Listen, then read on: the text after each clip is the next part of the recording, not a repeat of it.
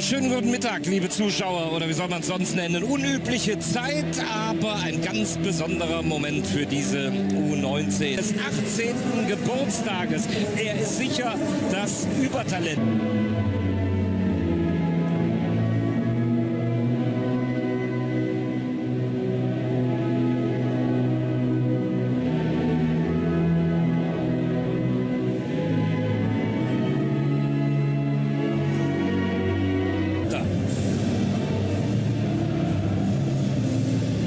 Paslak traf Kapp. Und wir schauen auf die Spiel vorletztes Jahr. Finalsieg 5 zu 0 in Hannover gegen Hannover 96. Letzten Wattenscheid gegen den FC Schalke 04 vor 13.000 Zuschauern gab es eine Niederlage gegen Schalke. Und hier erleben wir also nun den Nachfolger des Titelverteidigers. Wer kommt hier in der Anfangsphase? Bentko. 3 zu 1 nach 3 zu 0 im Hinspiel. Sehr souverän zu Hause drüben in Sinsheim. Die Szene im 16er gegen Jonas Arbeit. Lange in die Missverständnis in der Profis mittrainiert und schon gespielt hat. Dreimal in der ersten Liga.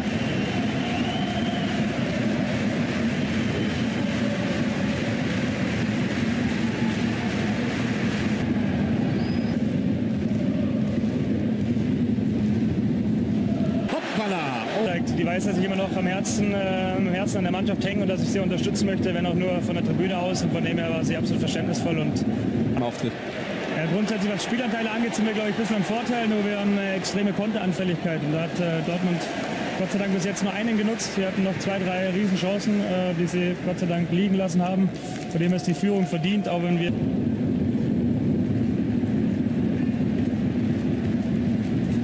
Schon interessant. Hier haben wir Pieper am Ball. Pieper gemeinsam mit Buasati und Til Schumacher. Das sind die drei, die da hinten die Dreierabwehr bilden und dann je nach Lage auf der Außenseite Unterstützung bekommen. Da ist Buasati, Deutsch-Marokkaner, hat auch schon in der dritten Liga gespielt, gebürtiger Dortmunder. Er ist in die Mannschaft gewünscht für Mert Sahin. Da sind zwei der drei. Ballverteiler als einziger reiner Sechser. Da ist er am Ball. Sondern dass sie wirklich Freunde geworden sind, sich, wie sie beide sagen, im Moment tatsächlich auch vermissen. Aber damit ist ja dann im Sommer mit Saison Neubeginn Schluss, denn dann sind sie ja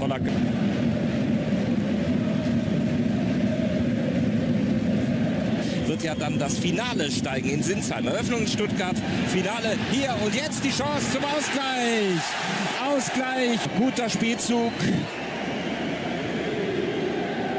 Der Gastgeber und Geiger.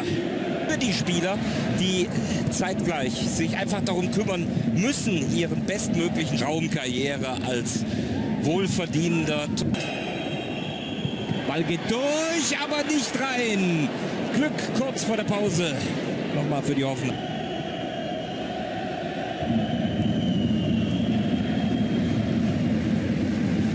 Züricher im Tor der Hoffenheimer. Ecke für Borussia Dortmund. Eben fast ein Tor und wieder wackelt Hoffenheim, ohne dass Dortmund es nutzen kann. Nach der Ecke von Brunic. Standardmann Brunic, Deutsch-Bosnier zu gewinnen. Dafür braucht es einen Sieg. Steht es unentschieden. 90 Minuten gibt es die Verlängerung und steht es dann noch unentschieden. Die Hoffenheimer überhaupt nicht auf einen Dortmunder Gegenangriff eingestellt gewesen. Komplett konzentrationslos in diesem Moment. Die Hoffenheimer Jungs. Buasati. Da ist Dominik Reimann. Geiger rutscht aus, aber der Ball kommt gut und guck an, da sind sie wieder. So schnell kann das gehen. Und der Beck köpft ihn rein. Schauen Sie mal, der rutscht noch weg bei der Flanke. Aber es hat Lage.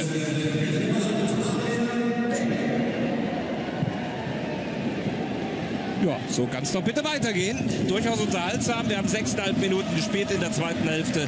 In diesen sechseinhalb Minuten. Auch sonst kein anderer Verwandtschaftsgrad.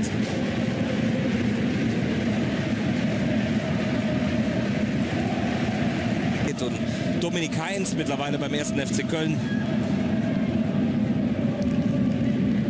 Drei Tore. Der linken Seite Buasati klärt für Dortmund.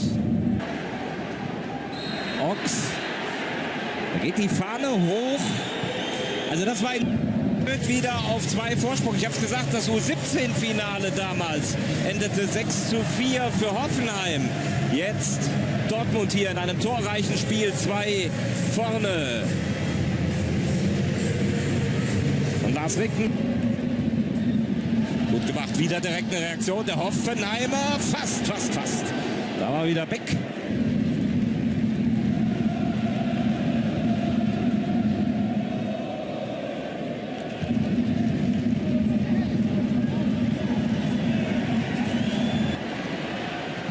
Ochs. Kein Abseits. Er war nicht im Abseits. Sicher nicht. Geiger mit der Schock. War ich Realist und dass der Julian die Sache gut machen wird, davon war ich überzeugt. Und wir hätten den Eindruck als Trainer, als Typ und fiebert jetzt hier auf der Tribüne mit, dass seine Mannschaft doch noch zurückkommt. In dieses Spiel, da war wieder Ansatz.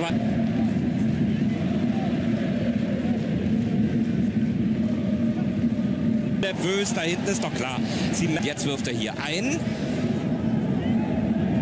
Zentrum könnte eine Lücke entstehen. Erstmal holen sie den Freistoß. El Buasati nimmt das mit kompletter Gelassenheit hin. Sagen wir es anders mit seiner marokkanischen Mentalität. Leidenschaftlich, temperamentvoll. Will er nicht einsehen, dass der Schiri da einen Freistoß Nachrücker bei Borussia Dortmund aus dem Juniorenbereich.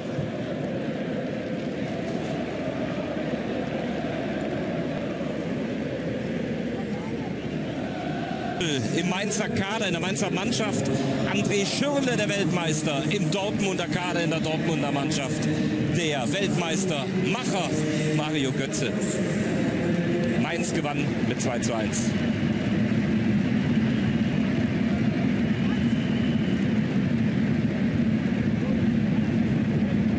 2007 gab es ein Endspiel. Leverkusen gegen Bayern. 2-1 für Leverkusen. Bei unserem Online-Beitrag bei sport1.de, da werden Sie dann das Ding hochrecken. Sie haben den Titel und Passlack wird Meister an seinem